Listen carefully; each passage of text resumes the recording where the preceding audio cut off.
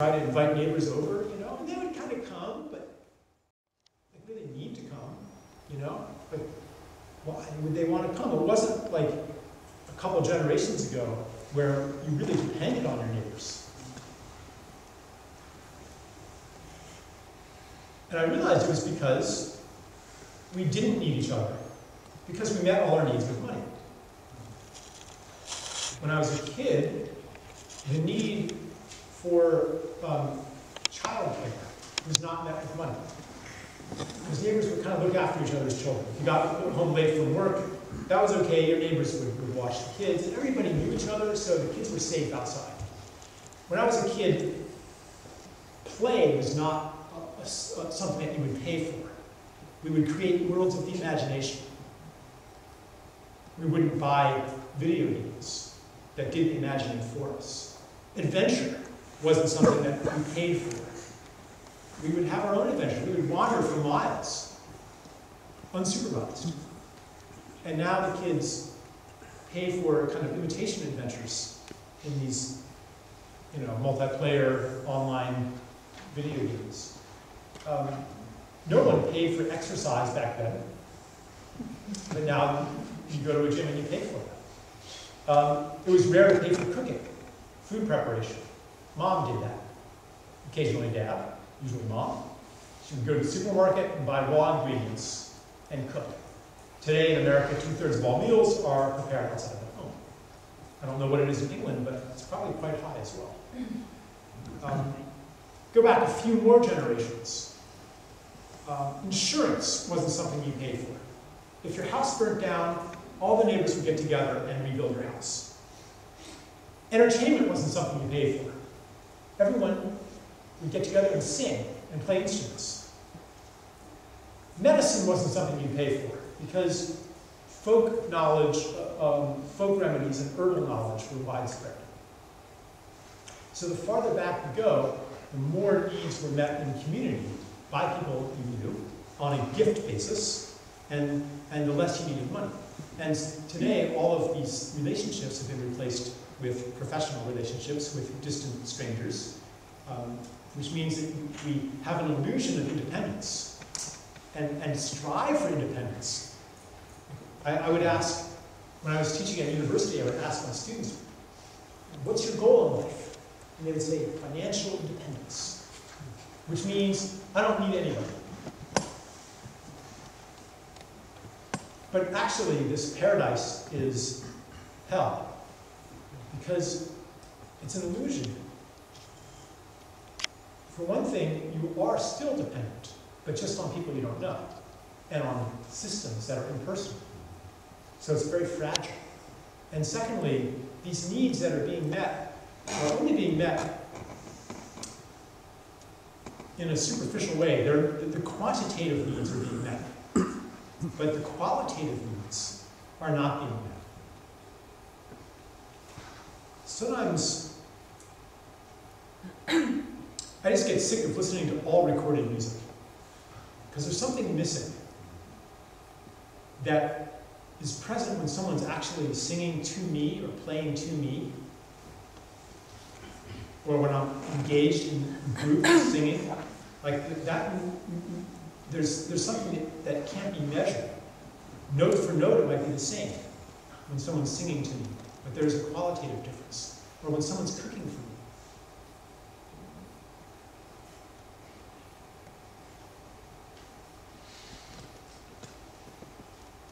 Okay, I guess I don't want to speak for hours and hours, so um, I think maybe I'll shift gears a little bit and talk about what the future can be and where this could go. So we're facing, we're running into a transition. Um, when there are no good business plans for me to, that allow me to lend more money, when economic growth slows and the return on investment drops, then I, the bank, don't have any lending opportunities anymore. And the ability to repay the existing debts gets lower and lower and lower. People, and, and, and so bankruptcies increase, wealth concentrates in fewer and fewer hands, and the system collapses. In order to prevent that from happening, you have to find something else to keep economic growth going for a while. And that's what the politicians are all, in one way or another, they all agree, left, right, and center. Let's stimulate growth, ignite, re reignite economic growth, increase demand. Whatever their tactic, they all agree that economic growth is a good thing. And that's, so, you know, it's like fracking, you know, mountaintop removal, you know, tar sands excavation, you know, like anything, like anything to keep the game going a little longer. But it's at higher and higher cost and less and less effective even if you try as hard as possible. Growth is slowing down. The system stops working, and that generates a crisis. A crisis that won't go away, can't go away, unless you believe that infinite growth is possible on a finite planet. If you don't believe that, then you know that this crisis won't go away. It can only be postponed until even more existing natural wealth is depleted. So not so every time it's postponed, the eventual collapse gets worse. And we can feel, even the financial elites know that the crisis hasn't gone away and won't go away. They call it pretend and instead. So this crisis is not only a crisis in our financial system, it's part of a larger crisis because you may have noticed that many, many of our systems are facing a crisis. Maybe, I don't know what your, what your passion is, but education, politics, healthcare. Um, there's a growing crisis, soil, water, energy, in every realm. All of the systems and institutions built on what I call separation, the story of separation, the story of humanity separate from nature, the story of individuals separate from each other in an impersonal universe. That is the story that's breaking down, along with everything built on top of it. The breakdown generates crises. The crises form a birth crisis that's propelling humanity into, well, first into an empty space, a space where we don't know what's real anymore. We don't know who we are anymore. We don't know how to to be effective in the world anymore. We don't know how to create, to create anymore, even. Many people, on a personal level, enter this space as well. When the world falls apart, could be a divorce, could be a health crisis, could be, you know, financial crisis, losing your job, everything that seems so real and secure and permanent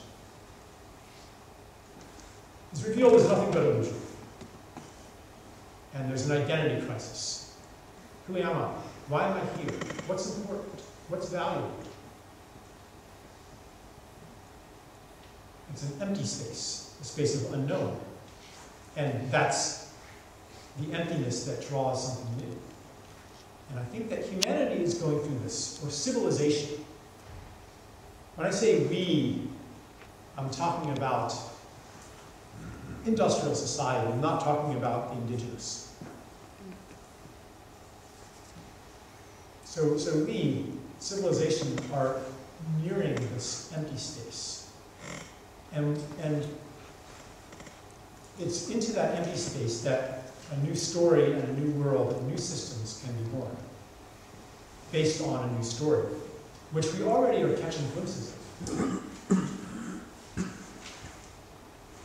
In fact, anything that's marginal, almost anything that's marginal, radical, holistic, alternative, um, most of these things are giving us a glimpse of the future.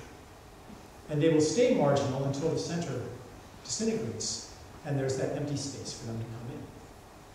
All of our solutions, I mean, all that we need to live in beautiful harmony with the planet has already been invented, it's already there. It's not like we need you know, some new technology, nanotechnology, genetic engineering, and, and kind of more of the same, more of the technologies of control. All that we need is here, permaculture and, and renewable energy and that, those kinds of things um, are enough for us to live in beautiful harmony with the planet. And that's something that needs to be substantiated. I mean, there are people who say, no, no, no, um, organic agriculture doesn't bring high enough yields to feed the planet. We need high-tech chemical agriculture. But, but um, that argument doesn't stand up to scrutiny. And uh, if, if, you, if you're interested in that, you can read articles that I've written and look at the citations. And, um, basically, um, high-tech agriculture maximizes yield per unit of labor, but not per unit of land. Anyway, the news story, and I'll just offer you my version of the news story. The news story is a story of interbeing that says who you are is not a discrete, separate Cartesian self in a universe of other. Who you are is the totality of all your relationships. Who you are is a mirror of the whole. Therefore, everything that happens in the world is happening to you, which is, I think, quite self-evident. You know, why else is it so painful to, to read about the, the dying of the seas? Why is it so painful even to read about seabirds on Midway Island that are being found dead stuffed with plastic? Why is that painful? It's because it's happening to us.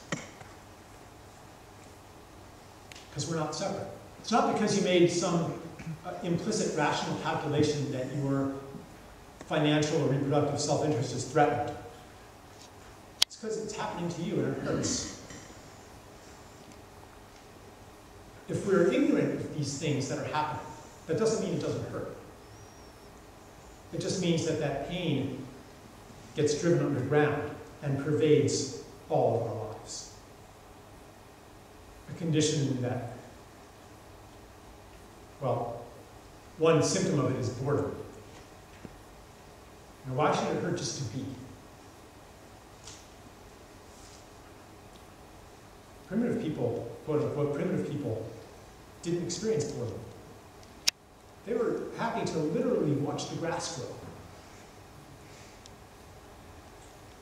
But for us, it hurts just to be, so we crave entertainment to take us outside of ourselves and give us a respite. And I think one way to explain it is that we haven't felt the pain that's out there. We haven't gone through the grief process for all of the damage that's been done. So we know it hurts on some level, but we don't know why it hurts, we don't know what hurts, and we're so used to it that we think it's normal. And then occasionally we get a glimpse of what life is supposed to be, what it's like, what it's, what existence is supposed to feel like. And we think, well, that's, that was amazing. That was a peak experience. And normal life is just like this, this kind of grim, uncomfortable grind.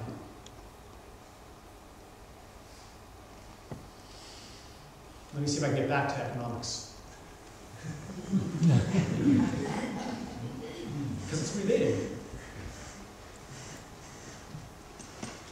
So the question, okay, so that's part of the new story, interbeing as Thich Nhat Hanh calls it, interbeing. And I like that word better than oneness, although oneness might work too. Um, on the collective level, it's the oneness of humanity and nature. The new story says, yeah, we are part of nature. Nature is part of us. And therefore, our destiny is not to become its lords and masters, not to transcend nature, not to conquer nature, not to have synthetic food and robot body parts and move off into space and synthetic worlds. No, our, our destiny is to become the co-creative partners with nature, to be in service to nature, to, to, to be the lovers of nature. So what would an economics look like that were aligned with, these, with this new story? And in, in, in that book, I, I, I, describe that. And maybe I'll. Um,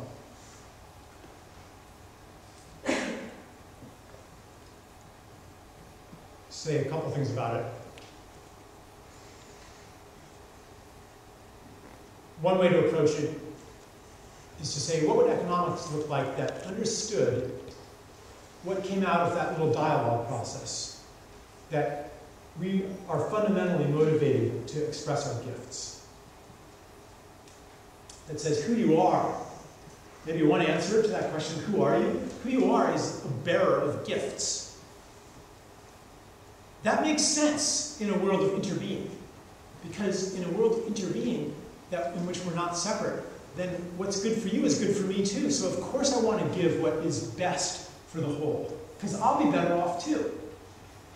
That's, in the context of our current economy, that's nonsense. I, I let you have that chair, that's one less chair for me in the game of musical chairs. If I let you have that job, then I don't have a job in this world of artificial scarcity. But in a gift economy, which was most economies before the modern era, in a gift economy, more for you is more for me. Because in a gift economy, if, if I have more than I need, I will share it with someone who, who needs it. Why would I carry around two stone axes when they're heavy and we're nomadic and I only need one and you could use one too? Why would I have a big granary full of grain that's going to gonna molder and decay and be eaten by rats to no advantage of mine when I could give you the grain if you're having a hard year, share it with you. And then when I'm having a hard year, I know that you'll share it with me. That's how a gift economy works. The gift, go, the gift seeks the need. So in that context, there's no opposition between altruism and selfishness. And the call of our hearts is aligned with economic reality. Therefore, this division between matter and spirit no longer makes sense either.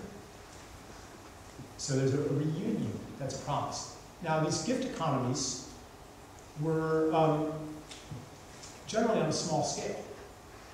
How do we translate that into a global scale, into a mass society? So that's why in this book, some people think that I must be talking about a world without money, and I'm not. I am talking about reclaiming a lot of life functions from the realm of money. A lot of things that we pay for, we shouldn't pay for. We should meet those needs for each other on an intimate, interpersonal level. We should grow a lot of food for each other. We should cook for each other. We should, we should be watching our children collectively and not shipping them off to daycare. We should sing songs together more. Um, we should participate in the building of each other's houses. There's a lot of things that, that can and should be a lot more local. But there are some things that will probably always be global. The manufacture of electronics, you know. um, to the extent that we still want electronics. But, but I, I'm not one of the people who discards all of civilization and technology as being a big mistake.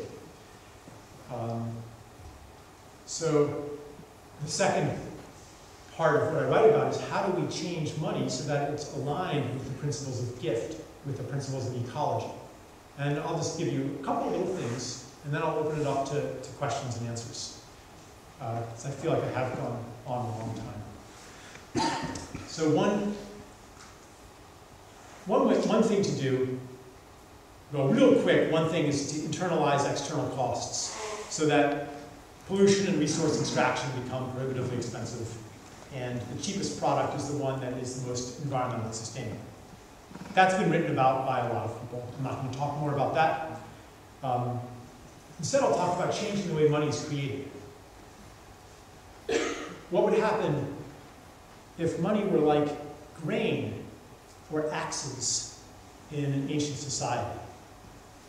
What would happen if money, instead of growing, if you have a lot of it and making you richer and richer the more you have? What would happen if, if you hoarded it, it would shrink and become less valuable? What would happen if it were not created in a way that there's always more debt than money, but if in a way that there was always less debt?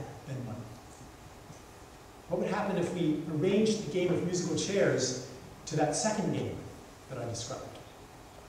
How would we do that? one way to do that is to have money decay. And this is actually, has actually been tried.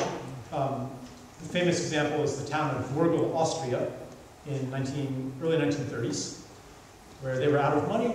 So the mayor um, had the town print their own local money that had um, these spots for stamps on it. And to keep it valid, you had to put a stamp on it every month. That cost money.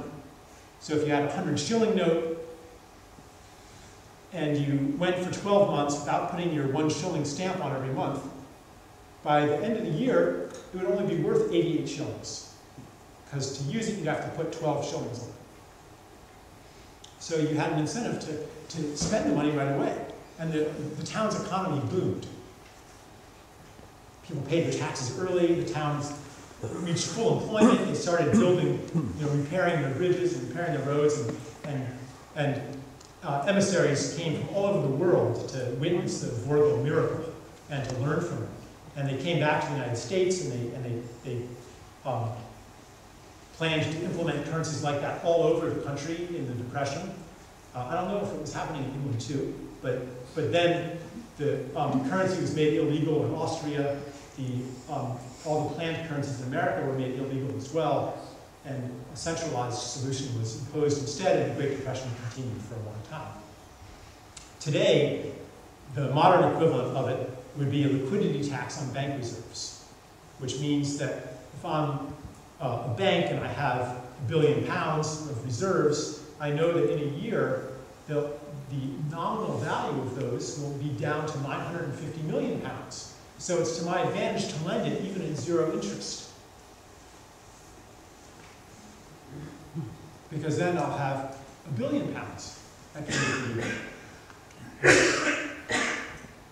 I can go a little bit more into the technical details.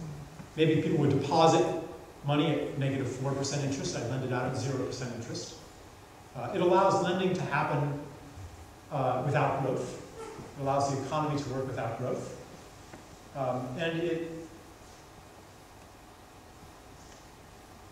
let's see how I can explain it. It's like, like suppose I had um, 200 loaves of bread, and I want to maximize my self-interest.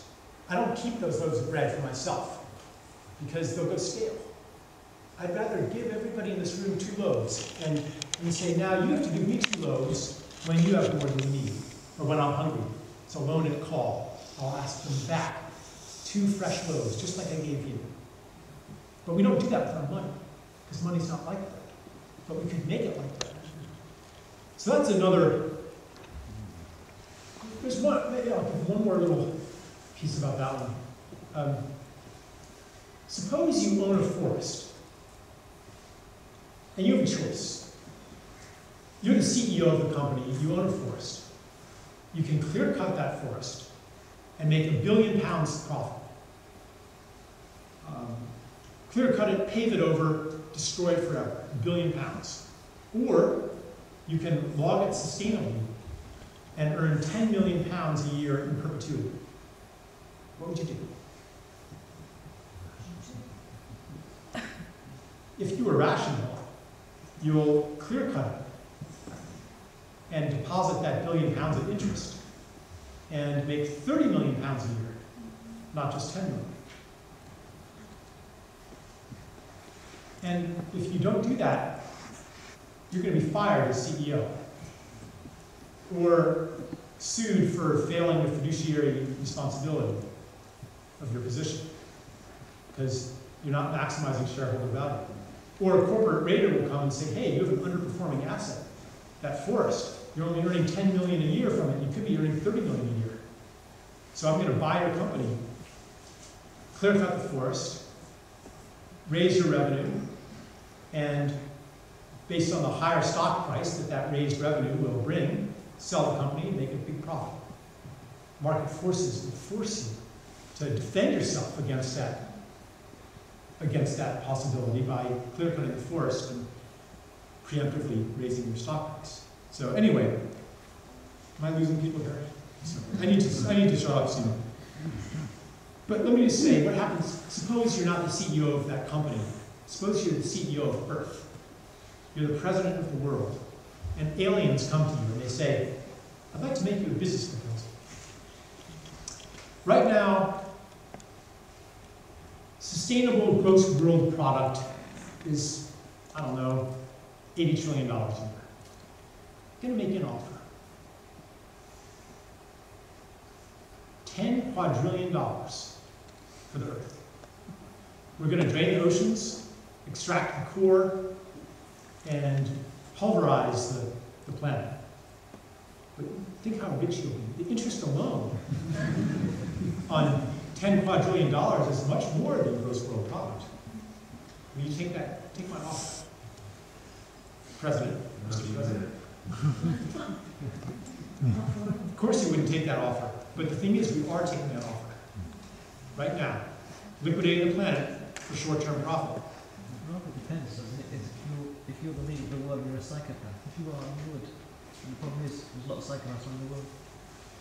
Psychopaths, yeah, that, that's another topic we can get into. But right now, even if most of us aren't psychopaths, we're still participating in that decision to liquidate the world for profit. It's built into the system. So I guess now is a good time to, to, um, to open it up to questions.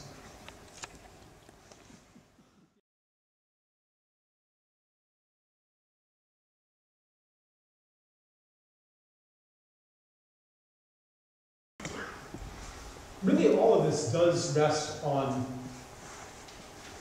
um, the paradigm of gift.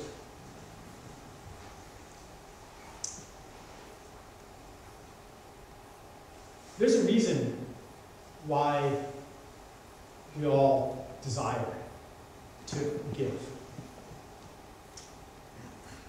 Why everybody in this room wants to give. It's because we're born into gratitude. Because this world is a gift, and our lives are a gift. I'm not, you know, being religious here. I'm just saying we didn't earn our birth. You didn't earn your mother taking care of you and nursing you. We didn't earn the sun. We didn't earn the soil. We didn't earn any of this. It was all given to us without our earning it. Our lives are a gift, and that means that we are naturally in a state of gratitude, which is the knowledge of having received and desire to give in turn. And that's why, even if you have successfully maximized your security and reproductive self-interest, you won't be happy or fulfilled if you're not giving your gifts towards something beautiful to you, something meaningful. You'll think, I wasn't put on earth to do this. If you're in a relationship or a job where you're not giving gifts. So my, my I guess my take-home message, if nothing else, is to trust that knowledge in yourself. That doesn't mean to panic about it. And it doesn't mean to beat yourself up if you find yourself not fully giving your gifts, or if you find yourself in a situation where you blocks your gifts. Doesn't mean you have to do something about it.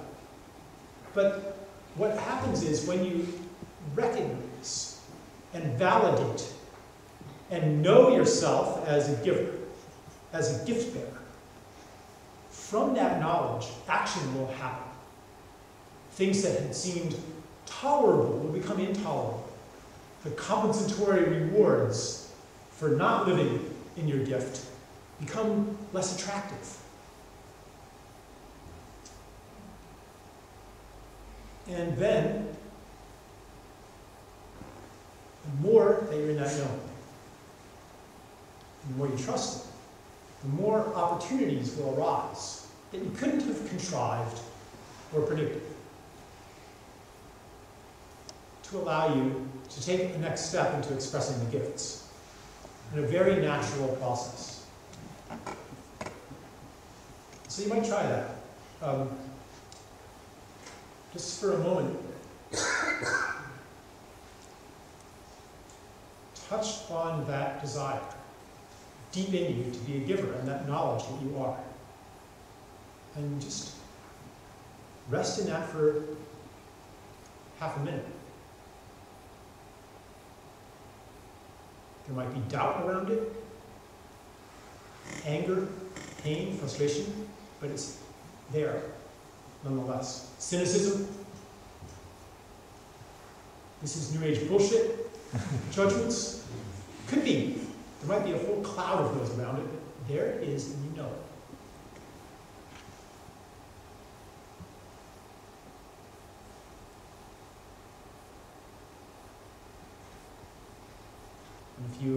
walk out of here carrying that, something will happen. An opportunity. Thank you.